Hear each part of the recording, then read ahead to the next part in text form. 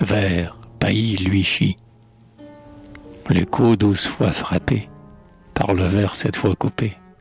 C'est la cadence opportune d'un couplet bien échappé.